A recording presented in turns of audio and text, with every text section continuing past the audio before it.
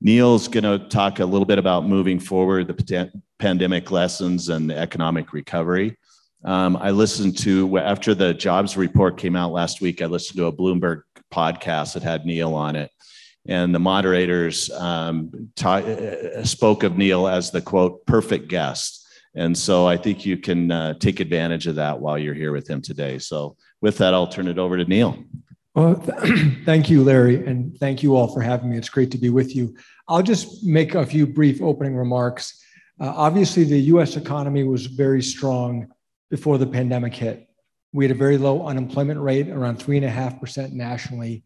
Wages were growing. They were growing most quickly for the lowest income workers as businesses competed with each other to find workers. That was really good news.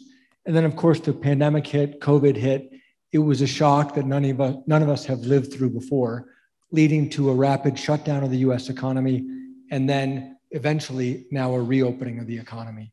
Well, the economy is reopening, but it's reopening in an uneven manner. You know, we're seeing a lot of pressure. If you look out there, you see a lot of pressure in rental car prices, in travel and transportation as they reopen. You know, consumers really shun services when the pandemic hit because the way to stay safe was to socially distance. So you couldn't harder to go to the barber shop or the beauty salon uh, and be socially distant. So a lot of the spending that went on last year was in goods, buying stuff from Amazon, buying cars instead of buying services. So the goods share of the economy expanded a lot while the service sector uh, retracted quite a bit. Now we're shifting away somewhat from goods more towards those services. But some businesses, you, I'm sure you hear about it. I'm sure you experience it in yourself in your own businesses. They're struggling to find the workforce. So the economy is reopening more quickly than the workforce is coming off the sidelines. So we're very focused on what does the labor market look like? Uh, how many Amer- excuse me, how many Americans are still out of work? What's it going to take to bring them back into the job market so that the economy can get to full potential? You know, the last jobs report that just came out was a really strong jobs report across the US economy. But even with that strong job report, by our estimation at the Minneapolis Fed, there are still six to eight million Americans who are not working today who would have been working if the pandemic had not happened. Now, why aren't they working? It's a combination of factors. Number one, we know a lot of people are still nervous about COVID, right? We health professionals spend a year or 18 months warning us full and to protect ourselves and our families. So a lot of people are still nervous. And the Delta variant is also causing some people to be cautious. Number two, with so many schools across America shut down, that was a real challenge for families with young children. How can they go back to work if they have to stay home and take care of their children? Well, hopefully the schools will fully be reopened in the fall, and that pressure should be relieved. And we also know in many parts of the country, the unemployment benefits were very generous and workers were saying, well, wait a second, I can make just as much money or more money collecting unemployment benefits. Why go back to work? Well, those unemployment benefits now expire all across the country in September. So I wouldn't be surprised if workers are saying, hey, these generous benefits are going to go away in a month. I might as well collect them for one more month because they're going to go away and the job market's probably going to be strong uh, come September. So I think those three factors are real that are keeping some people off the sidelines. The question is, once those fall away, how quickly we can get people back to work, because that's going to be critical to reaching our full economic potential. And that's what we're trying to assess. So ultimately, we'll get into this in a lot more detail with Larry. Just let me say the Federal Reserve has what we call a dual mandate. We have two primary goals that we're trying to achieve. One is stable prices. Think about an economy that is growing, but not overheating, not limping along. The other one of our goals is maximum employment, as many Americans as possible gainfully employed and contributing to our economy. And we think of those two things as sides of a seesaw. As the economy heats up, businesses have to compete to find workers, they have to pay up. That leads to higher wages and then higher prices. And so the labor market and the economy, we think, are tightly linked, and we're monitoring both sides of that seesaw. We are seeing some high prices right now, which I know Larry and I are going to talk about, but I still see a lot of slack in the labor market. I expect more workers to come online. And I think that's going to help our, that'll help relieve some of that inflation pressure but that'll also boost our economy's potential. And so I'm really excited to be here. I love Montana is part of the region of the Minneapolis Fed. So we have a responsibility to, know what's happening in the Montana economy. We have uh, employees in our branch office in Helena who monitor uh, Montana on a daily basis for us, but I'm always excited every chance I get to come out and visit. So thank you for having me. Thank you, Neel. Um, there are two microphones set up, so I would encourage you to uh, ask questions. Um, so we'll, while you're thinking of a question, um, let me get started, Neel, with just one. Obviously, the topic that people are talking about is inflation. So talk about inflation, how you look at it, you know, short term and long term, and how you see inflation. Yeah. So as I mentioned earlier, the economy went through a rapid shutdown and now it's going through a rapid reopening. And we're seeing many sectors of the economy where businesses are struggling to manage that reopening. And in many cases, that reopening could involve a global supply chain.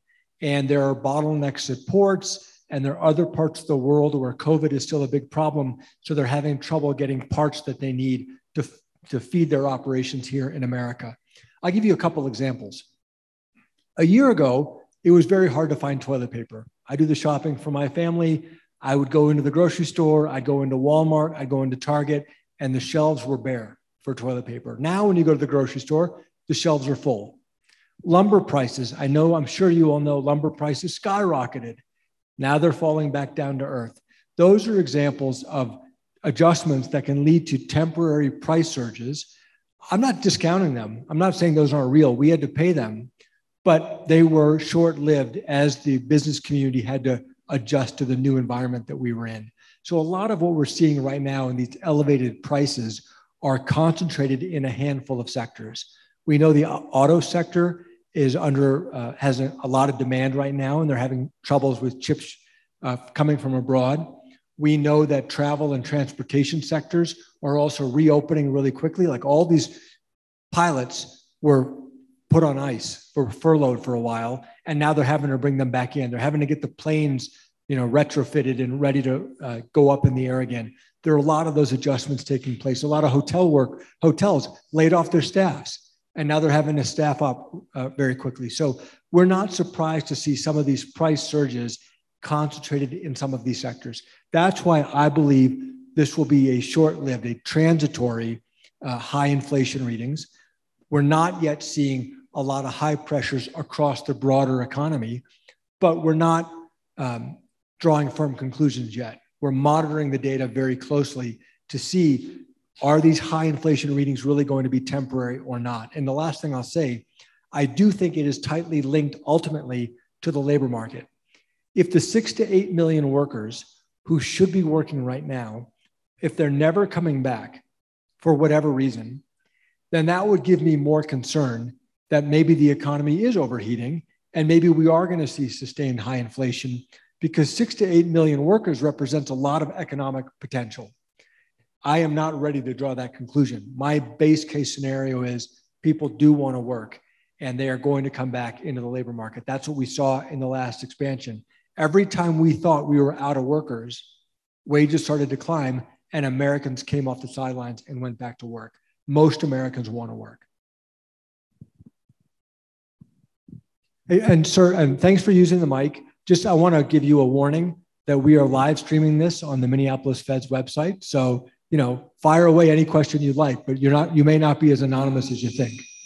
Uh, I'm John Brendan.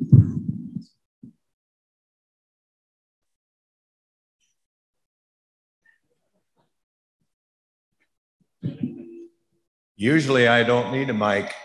Uh, but anyway, I'm the governor's representative on PNWER. And I've been in politics almost 60 years. And so I've seen all these peaks and, and valleys and what have you over my lifetime. But I'm really concerned about uh, this 1.3 or 4 trillion dollar infrastructure bill, which actually only 23% goes for actual hard infrastructure like roads and bridges and that kind of stuff. And now they're talking about another three and a half trillion. And the way that the government is borrowing money how do we sustain that or possibly ever pay close to $30 trillion back?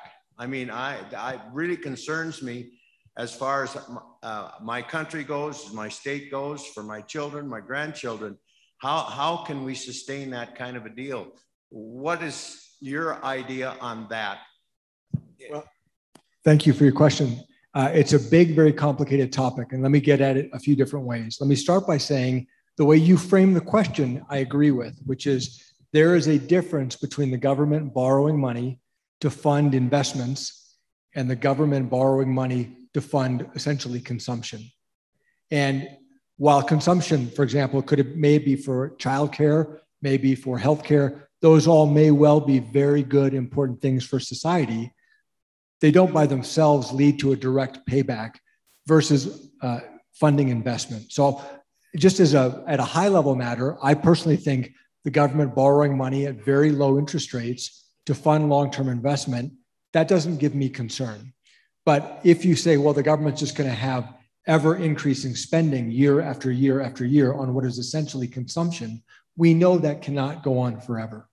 And I would say, just to give you an example, here in Montana, when I travel around Montana or North Dakota or South Dakota or Minnesota, one of the biggest needs we have is we need better broadband internet for all of our regions.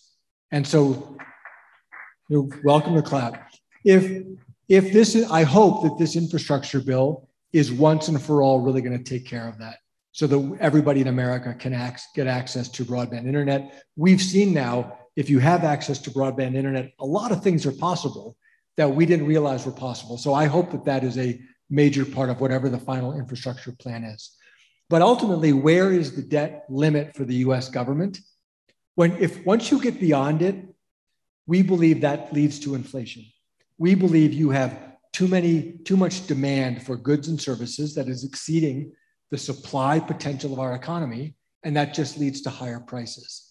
But where that should show up is in the rate that the US government borrows at, because investors will look at that deficit spending, they'll look at what it's being spent on, and they're going to say, hey, I think inflation is coming. I'm going to demand a higher return to loan money to the government. That's not happening so far the US Treasury is borrowing at very, very low rates, even with these high deficits today and potentially higher deficits in the future. That doesn't mean it can go on forever. But I'll be honest with you, nobody knows exactly where the limit is. Is the limit $25 trillion? Is it $30 trillion? Is it $50 trillion? We don't know. And so ultimately, it ends up being a judgment call and it ends up being a political call among our elected leaders to decide how much is too much. But I mean, I, I am sympathetic with your underlying concern. Nobody knows what that what that line is, unfortunately, and so it's kind of easy to keep doing what we've been doing because we haven't felt pressure yet.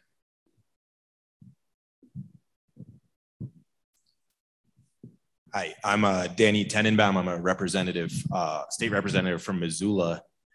One question I have is about housing affordability. And I think myself and all of my colleagues in the legislature, we recognize that there is probably a housing shortage in Montana, and I think other states are experiencing that as well in provinces.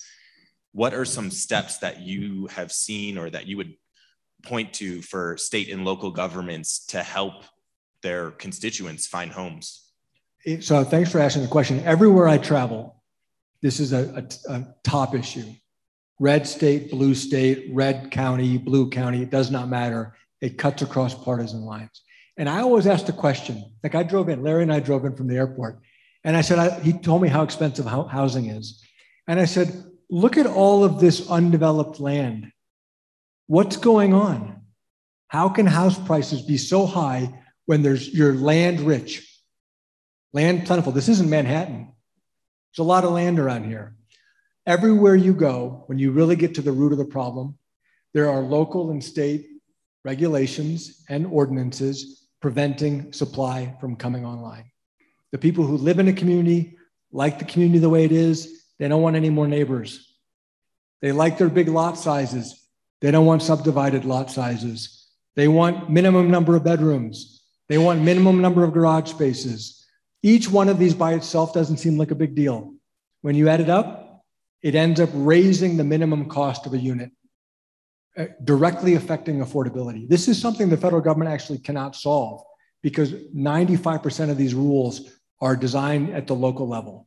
And so you don't like the cost of housing, you and I need to take a hard look in the mirror because we are the reason the cost of housing is the way it is. And that's it. That's the cold, hard truth. There is no way, there is no way the government can subsidize your way out of this because it affects almost everybody. You can't ask everybody to subsidize themselves. That doesn't work. And so ultimately, it is about, you know, I'll give you one more example. I was visiting a manufacturer in northern Minnesota, in Duluth, which is not a big metropolis. And the, they just hired a new CFO. And he told me he couldn't believe how expensive it was for him and his family to buy a house in Duluth. And I asked him, I said, Where'd you move from? What little town did you move from? Do you know where he moved from? Houston, Texas. If Duluth is more expensive than Houston, Texas, we're doing something wrong. It is all about our own decisions at the local and state level. Neel, before we go on to the next question, just um, I think it'd be helpful to expand on the previous question about the federal debt. I mean, as we talk about it, we look at 10 year treasuries, the market's saying, I'm okay with this so far. Um, but talk about monetary policy versus the fiscal policy of that equation and how you think about the monetary policy of of um, uh, of dealing with that issue. So we at the there's a clear distinction between fiscal and monetary policy. So fiscal policy is how much you and I are taxed, what rate we pay taxes at the state, local, and federal level, and then how our tax dollars are spent, whether it's roads or bridges or defense, healthcare, education. And those are the political system makes those choices. Separate from that is monetary policy, which is the Federal Reserve basically moves interest rates up and down to try to manage the ups and downs of the US economy. And it's designed to be insulated from day to day politics. Uh, we keep politics you know, outside of the Federal Reserve, and we just focus on the data to try to say what's right for the US economy for these dual mandate of maximum employment and stable prices that I talked about. So if we saw, hypothetically, at some point in the future, that the US government was running very, very large deficits, and investors around the world said, hey, we're worried about inflation, and that becomes a self fulfilling prophecy, you start to see high inflation. The Federal Reserve would then say, well, we would have to tighten monetary policy, raise interest rates to keep inflation in check, even if that was not politically popular. Some of you might be old enough to remember the 1970s had very high inflation, and the Federal Reserve Chairman Paul Volcker dramatically raised interest rates to break the back of inflation, but it was very painful. It caused a recession in the US economy, but ultimately it was successful. That was the kind of thing that'd be very hard for elected officials to do because their constituents would be mad at them, but it was the right thing to do for the, for the country. So that's the distinction that we make. So we don't actually pay attention to what is the Treasury's deficit position what are their plans for deficit spending?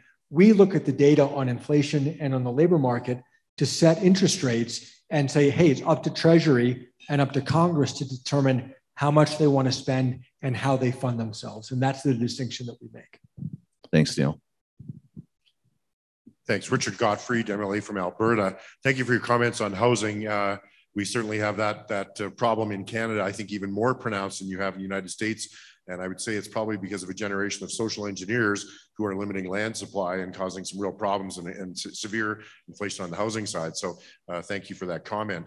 Just a couple of, of comments, questions. Number one, uh, with respect to um, uh, the, uh, the, the crystal ball that none of us have. We've come through the most 17 most unpredictable months in our lives, and now we're trying to predict uh, what's going to happen in the next uh, two, four, six months or a year. And um, I'd just like you to maybe comment on, on the risks that you see for government and for industry in that regard. And, uh, and then the second thing uh, you commented about the labor issue, and, and I just wanted to, to maybe also get your comments on that labor supply concerns we have. We, we see that this reluctance perhaps of some of the younger generation coming back into the workforce, but very we have very little conversation about the baby boomers who are timing out of the workforce as well, which is as big a problem in, in the uh, in industry as well. So maybe some comments on a few of those issues, if you would. Thank you.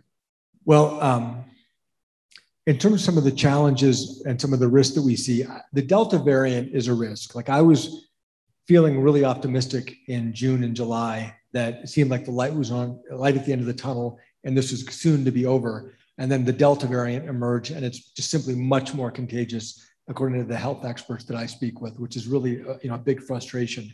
So we have, I'll just give an example, the Minneapolis Fed, we had planned to bring our 1,100 workers back into our facilities in mid-September. We've now delayed it by at least a month, and we're going to monitor things on when we can bring everybody back. So, you know, it could lead to a more sluggish recovery if people are nervous. So if, if we're not bringing our workers back into downtown, then the restaurants and the shops around our facility, they're all affected by that. And we're not the only one making that decision. So, you know, there are going to be broader economic implications. And you saw, you may have seen that retail sales data came out today.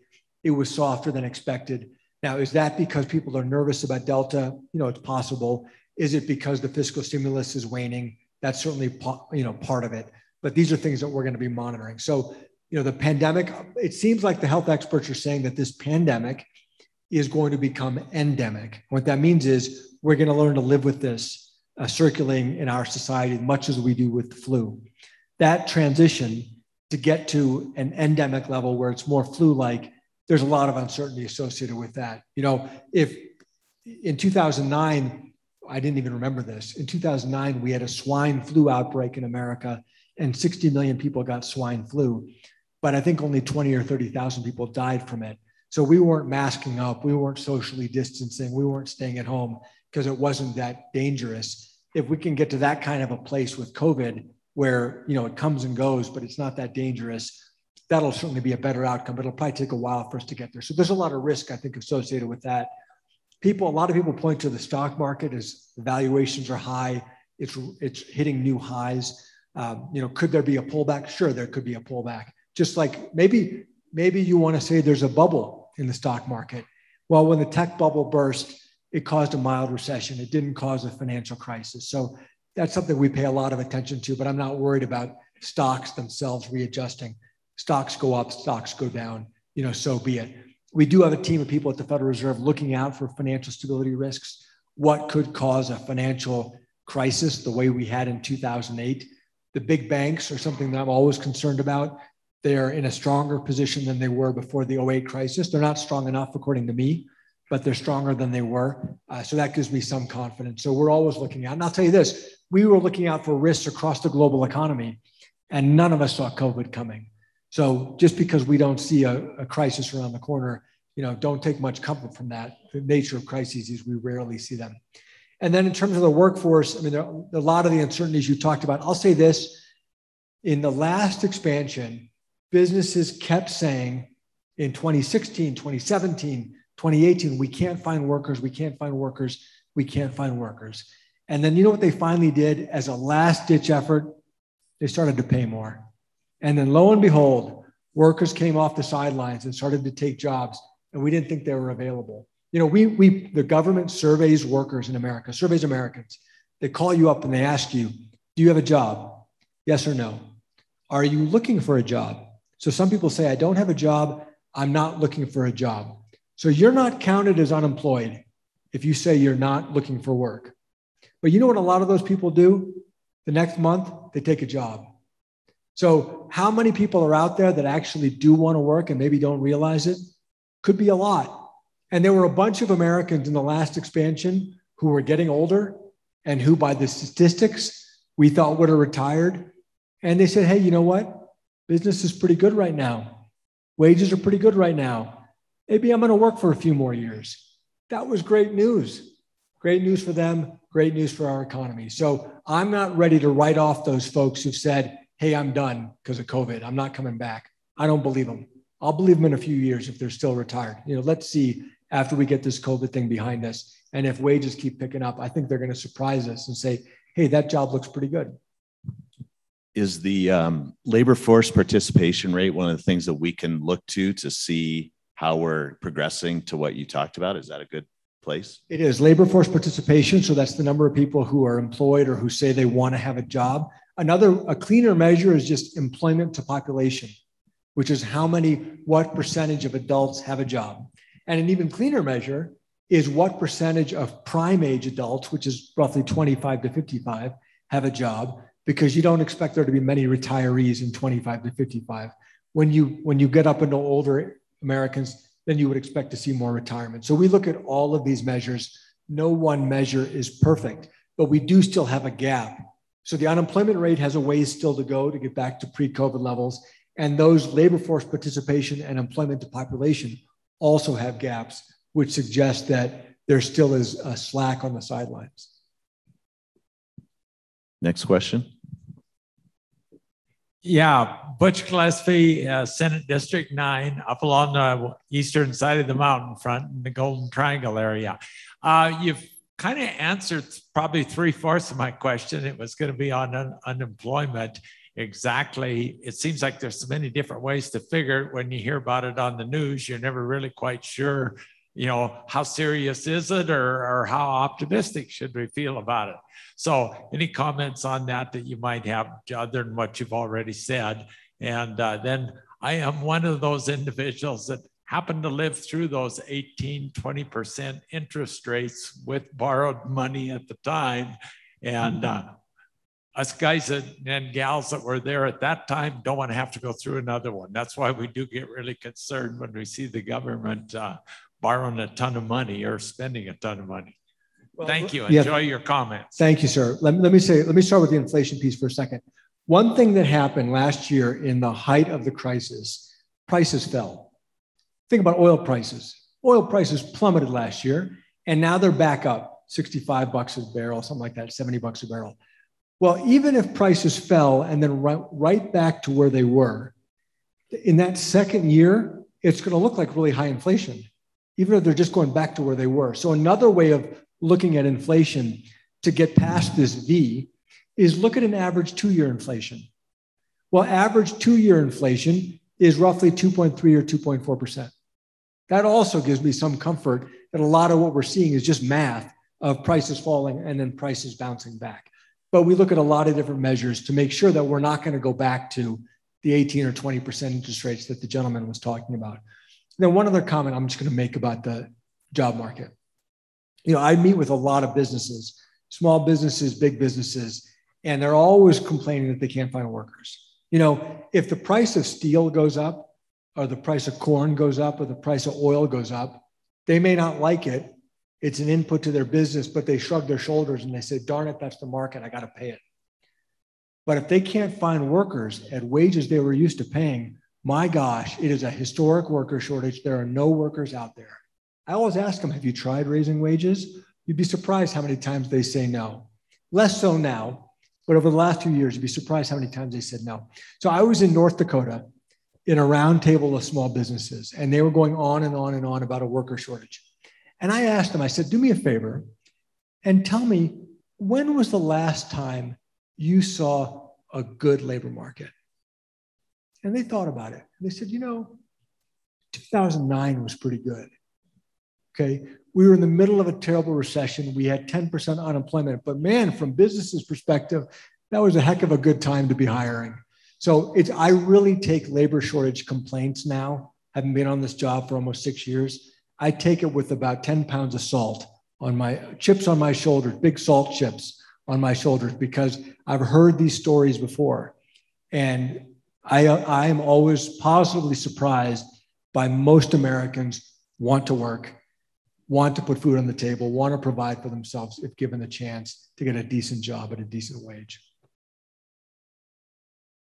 Hey, uh, good afternoon, Neel. Tom Cape uh, with Mitsubishi Power. So I wanted to drill down into monetary policy just a little bit. There's a couple of thematics you'll be very familiar with that are happening in the market.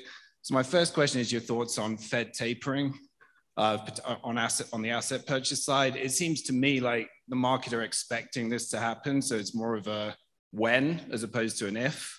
And it's really relatively priced into the, to the treasury market today. The second one I'd love to hear your thoughts on is a rate hike. Now that I do not think is priced into the market and perhaps is more dependent on the on the jobs side, um, but would love to hear your thoughts on both of those. And thanks again for your time. Sure. So the first question is on the Fed's asset purchases. So the primary policy tool we have to boost the economy is we lower this interest rate called the federal funds rate that banks charge each other. Once we get that down to zero, the question is, are we out of ammunition? The answer is no. We can drive down long-term rates by buying assets in something called quantitative easing. We buy US government debt and mortgage-backed securities, and that drives down long-term interest rates. And we started doing that in the 08 crisis, Then eventually we tapered that off and we started shrinking our portfolio. Then when the COVID shock happened again, we cut the federal funds rate to zero and started the asset purchases again. We have said, as of December of last year, that we would begin tapering those asset purchases when we saw substantial further progress against our goals. So we inflation is a little bit high right now, as we talked about. We've made some progress in the job market. The question is, when will we have made substantial further progress in the job market? To the gentleman's question, you are right. It is a question of when, not a question of if. And that's what the committee is going to be deliberating over. When has the labor market made enough progress that we can relax this one tool? There's a lot of public discussion about will it be at the end of this year? Will it be, be at the beginning of next year? Those seem like reasonable ranges of deliberation, but ultimately it will be driven by the data. So it is a question of when, not a question of if. And then in terms of the, lifting the federal funds rate off, we have committed ourselves to a new approach to monetary policy that we're not going to raise interest rates in anticipation that we are going to reach maximum employment and that inflation is going to come, that we are going to wait until we actually achieve maximum employment, until we've actually achieved our inflation target and see inflation climbing over time. That's going to depend on the recovery. That's going to depend on the data. Um, you know, my best guess right now is we're a few years away from raising the federal funds rate. Uh, but how long that ultimately takes, it's going to depend on the job market. We thought the job market this spring and summer would be much stronger than it was. Then we had a very good job report last month. You know, I don't want to prejudge it. Let's see what ends up happening for the rest of this year in terms of asset tapering. Then we have to see what happens next year in terms of the actual federal funds rate. I'm Tom Schultz, uh, host of Voices of Montana. Thank you for being here and, and taking questions. Um, speaking of when versus if, and maybe it's a, a sidetrack, but how has the pandemic affected the solvency of Social Security? How has the labor market affected the solvency of Social Security? And does the Fed Reserve, um, does it come up in your discussions? Uh, do you have a role to play in protecting the solvency of Social Security? We, we do not have any role. That is purely the domain of fiscal policy with Congress and the executive branch and the Treasury Department and the Social Security Administration. So I'll be honest, nothing we deliberate about, but I'll just give you a quick uh, view on it, which is it really depends on the workforce. I mean, many of our entitlement programs, including Social Security, are funded by current workers paying for current retirees.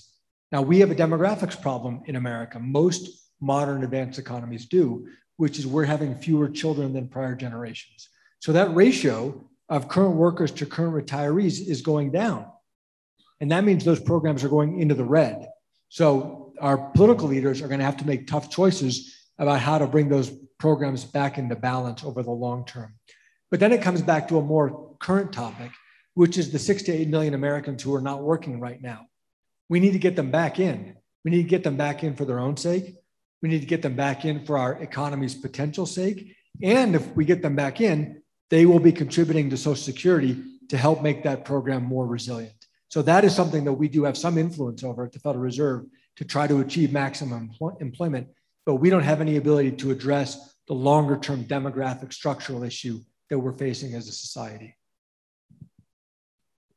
Hi, asking a little bit different question. Uh, I'm with the state of Montana Department of Agriculture. I'm an attorney. And, and the changes we've noticed in retaining employees, when looking at employees, is having gone remote for a period of time, years.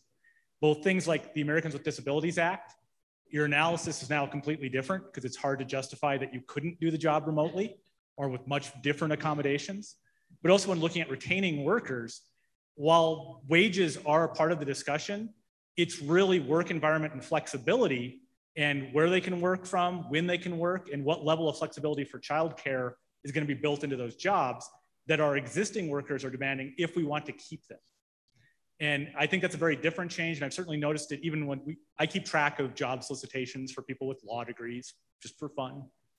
And certainly the offer on the dollar amount does not go up, but the flexibility employers are willing to offer senior seasoned attorneys has vastly improved in the last year. And I think those changes may be more permanent than even some of the wages that you're seeing at Taco Bell. Any I, comments? Yeah, I think you're right that some of those changes are going to be more permanent. But I also, my own gut tells me some employers who are jumping to this, we're in this new world, this new world's here forever. I think it's premature to draw that conclusion. We're having this deliberation in our own bank as well. We have 1,100 employees. Many of our staff have said, boy, this worked pretty well working from home. I like this.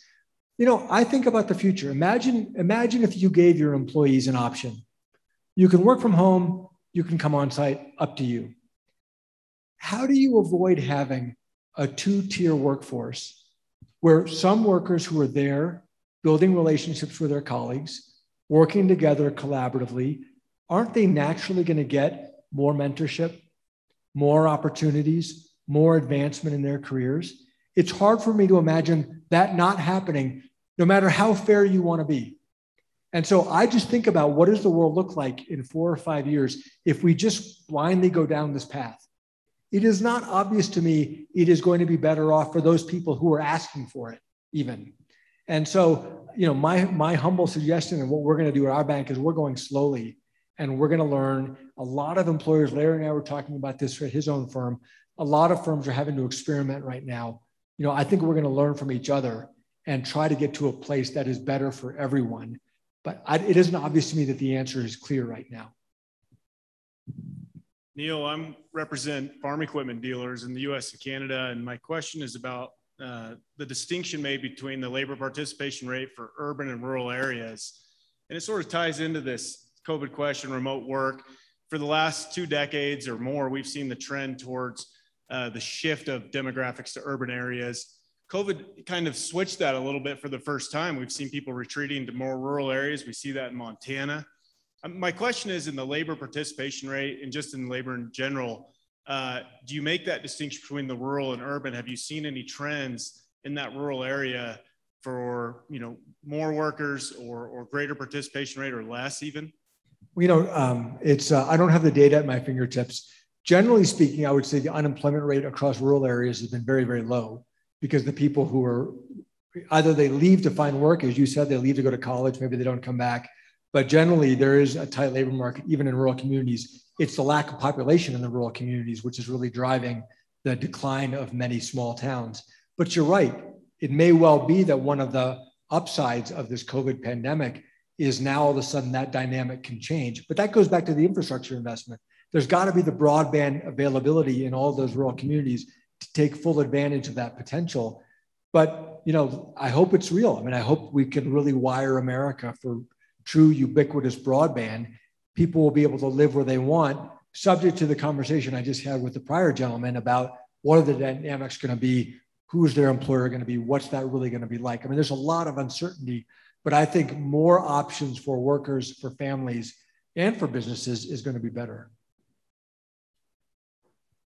Okay, I got a quick softball for you. Uh, Matt Boehnke, State Representative, Washington State. We're a technology leader, you know, at Microsoft, all the big keys. How do you, what are your thoughts on the digital economy as we move forward?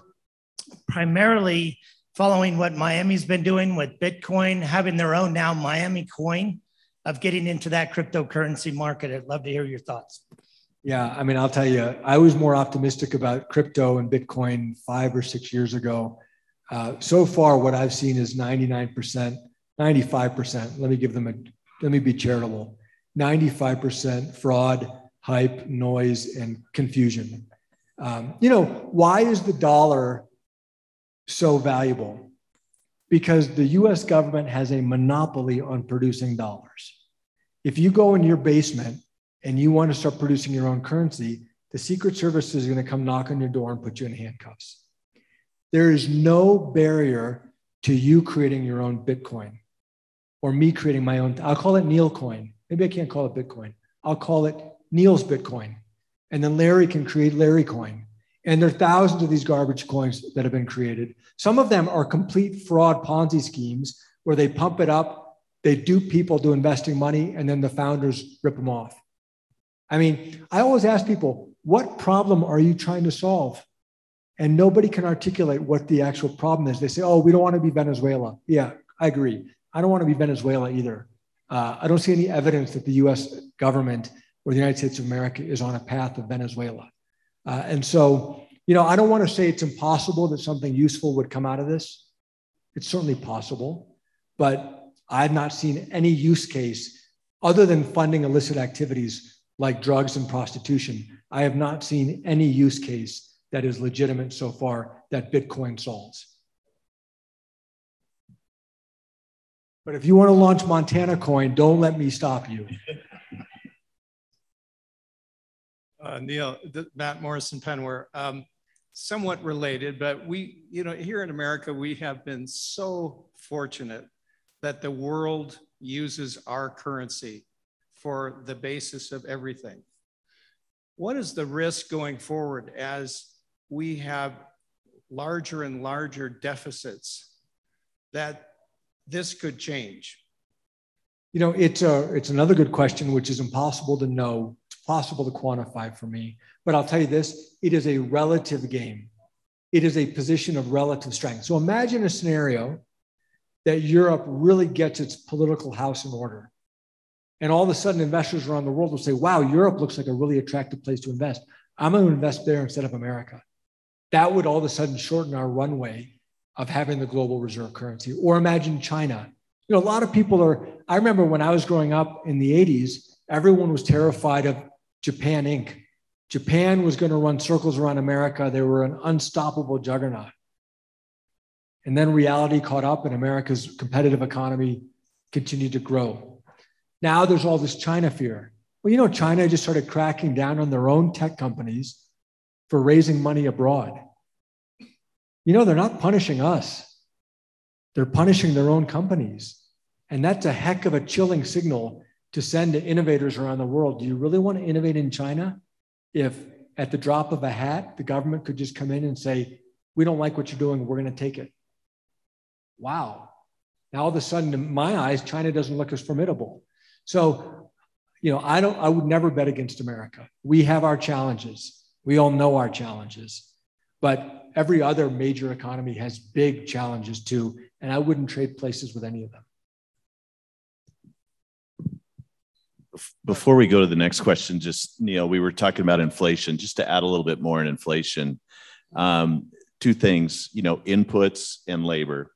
Um, for us, I mean, I think inputs and for a lot of the companies out here, we've got a lot of muscle memory from what's happened in the past. For instance, um, you know, parts that we, you know, were just in time on. Once we got stung on it in 2009 and and different periods of time, we've stocked those rather than have tires is the perfect example. We used to carry no mine tires. Now we've got six months of tires. And so as prices go up, we're, we're able to sit back and wait. We don't have to react right away. So the inflation for parts, other than fuel, and as, as you noted, this is a short-term thing. Um, we haven't we've we've structured ourselves in a way that we haven't had the experiences we had in the past. That's one. Two, on the labor market, I think during COVID, um, we didn't add any people, right? So nobody was added. We're still growing. Um, in normal times, we probably would have added more people. In now that it now that we're seeing the light at the end of the t- tunnel labor is more expensive we're giving covid bonuses we're doing those types of things but our overall cost of labor for what it would be is not up because we have fewer people. And people i think during covid we figured out a lot of places to be more efficient. And so places where we would have added more people we figured out ways to do it with fewer people costing more but the total labor cost is not inflationary for the overall business. So, like to your point, I think there's a whole bunch of factors out there that are impacting that. that that's really interesting. You know, uh, it reminds me pre-pandemic. So several a few years ago, one of uh, the directors on our board, Larry, was a wonderful director for six years. One of our directors was a power company CEO, and he said one of the huge challenges in the power industry is that all these linemen, the mostly men who go out and work on the power lines they're retiring and it's an older workforce and they're going to have this massive brain drain labor shortage of all this wave of retirees and they don't know what they're going to do. So a couple years go by and i remembered his comment and i said hey uh, david what happened? Did you keep the power on? You know what happened? Did you run out of workers? He said oh no no we solved it. It was not a problem. I said well how'd you solve it? He said you know what we ended up doing? We paid a handful of the most productive senior workers some extra money to stay around for a few more years. And then we adopted technology. We use FaceTime. So before, when we would send a, a younger worker out into the field, we'd pair him up with a more senior lineman. Now he can go out in the field and he FaceTimes the more senior lineman who's on a different job and he walks him through it. And then the more junior guy can complete the job, having gotten some guidance from the senior guy, and they can do two jobs at the same time when they used to only be able to do one. I mean, how great is that? But they were forced to do that, just like we were all forced to. I never used Zoom before the pandemic. We were all forced to adopt these technologies, and the technologies have improved even in the last year or 18 months. So hopefully, some of this productivity is going to stick with us. Next question. Hey, um, I just want to go down on record. I gave a presentation earlier today and didn't get a single question. So, so I think you're a lot more interesting than I am. Hey, um, I, I, wanted to follow up. So you said earlier, um, you were talking about uh, inflation perhaps being transitory. You know, give me some advice over the next 12 months. You know, I'm in a business where I used to get 12 month pricing validity from my suppliers without much problem. And those same suppliers won't even give me like a two week pricing validity now because things are changing so rapidly. How do you, I mean, so it's easy to sort of talk at the macro, like, you know, maybe we, like lumber went up and now it's come back down. But how do you think that's all going to sort of play out, eh, you know, sort of the next level down in terms of things like pricing validity and you, you know, I, I, wish I could give you good advice, and I'm sorry that I can't. It's going to be very sector specific. You know, I'll give you an example.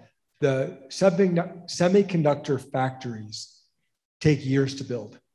And the CEOs of the big semiconductor companies like Intel have said they're going to see shortages and high prices probably for a couple years. Other sectors, you know, lumber we talked about, have fallen right back down to earth. Other sectors can adjust more quickly. And so I would just say to you, with respect, you're going to have to look at these various inputs and try to determine which ones you think are going to be longer lasting and which ones you think can catch up more quickly. And maybe talk to your suppliers and ask them, hey, what do you think? How long is it going to take to get this backlog uh, cleared out? It's, I think it's going to unfortunately be on a very sector specific basis, which is going to be based on the products and how global are the supply chains, uh, how service oriented are they versus how manufacturing oriented are they it's a complicated question, and I'm, I know it's not going to be easy to answer. Uh, thanks. We have a question from online. One of our uh, attendees had a question uh, in regards to the future. Is it possible for all businesses to pay into an insurance fund if they choose to remain open? And then is there evidence to suggest that big box retailers like Amazon were able to um, uh, weather the, uh, um, the outbreak uh, better because of that uh, cash reserve to build back off on? Well, it, it's a good question. One of the things Congress, you know, I really want to applaud them, both sides of the aisle came together very aggressively to support small businesses and mid-sized businesses and even some big businesses to keep them solvent through the pandemic. You know, you go through this terrible shutdown, you can have a lot of devastation, long-term devastation, not only for workers, but if all these thousands and thousands and thousands of businesses go under, it takes a long time to form new businesses to go take that vacant space to hire up the staff. And so, but it's a policy question is should there be an insurance fund instead of Congress acting? Imagine if there was an insurance fund that everybody would just pay into. That's a good, interesting political policy question. I don't have a strong view. In a sense, you could think of the American taxpayer is an insurance fund at a very macro level. You could have a more targeted one um, ready to go. What was the second part of your question? uh, it was it was just I guess they want to know what the evidence was as far as the uh, uh, uh way big, Amazon and big box retailers were able to uh, to remain well, open and yeah. I think the big companies, generally speaking, have more financial avenues than the small companies. You know, big businesses were able to tap the capital markets, the bond market, people, you know, issuing record debt levels in the bond market to try to fund themselves so they had a cash buffer. So I do think bigger businesses had more just more options during the pandemic, drawing down credit lines from big banks as an example. And that's why I do think it was so important for Congress to step up to support small businesses, which had fewer options of their own. Okay, I think we've got time for one more question, but maybe I'll close with this, Neel. Um, I think one of the things that when you see Neel Kashkari's name, it's after a big jobs report or after a retail sales or after an FOMC meeting. Uh, but I think the most fascinating thing about how engaging Neel is today and um, and you know during this COVID crisis is where he goes for information, and um, you know the ability for him to talk to you about your business. He truly wants to know what you're doing in the business. So as these decisions are made on the economy, they're not made by the data that you think is connected with Neel. But one of the most interesting things I think that we talked about earlier is just how close you were to COVID and all the resources that you use. One of the top doctors at the University of Minnesota um, to track the pandemic versus the New York Times tracker, which all of us were looking at. So maybe just talk about that a little bit. Yeah, I mean, when the COVID crisis hit, I mean, none of us had studied pandemics before. And so we had to drop everything and learn everything we could. And one of the neat things about being at the Federal Reserve is you can call up the best experts in the world, and they will usually make themselves available to share with you what the latest is. And we have one of the real top ones at the University of Minnesota, Dr. Mike Osterholm. You know, Dr. Osterholm was criticized because people said he was too negative. He was dead on. I mean, in March and April of 2020, he told me this is going to be 18 months to two years. You're going to see flare ups in some part of the country and not in other parts of the country. And you're going to wonder why. Is it something they did? Was it policy choices or is it just random? We're not going to know. And all these dynamics that he tried to prepare me for, because that made me think of what do we as an economy have to get through? it's not likely going to be two months. It's likely going to be 18 months or two years. How do we think about positioning our economy to get through that? And so, I mean, it was all hands on deck to learn as much as we could. And the health experts, this was, in some ways, it was similar to prior pandemics, but each pandemic is unique. So the health experts were struggling and they were honest about what they knew and what they didn't know. The, the thing they got wrong, which I'm really happy about, is they all said getting a vaccine that's effective is a really uncertain proposition. It might take us years to get a single vaccine that works. So it is a miracle of science that we have multiple vaccines that are this effective. And so I'm glad the doctors were wrong in that dimension and the scientists exceeded expectations. Uh, but you know, learn everything we possibly can, be humble about what we know. And one of my experiences from 2008 was prepare for it to get worse before it gets better. And 08, we kept getting surprised at how bad that crisis ultimately got. And so I think Congress and the Federal Reserve learned that lesson and said, let's err on doing too much rather than doing too little. And I think that really helped the economy bounce back as quickly as it is. Great. Well, thank you, Neel. We really appreciate you having in Montana and having you here at PNWER. And hopefully come back in the winter when your kids are old enough to ski and they can experience big sky in the right way. That would be great. Thank you for having me. I really appreciate it.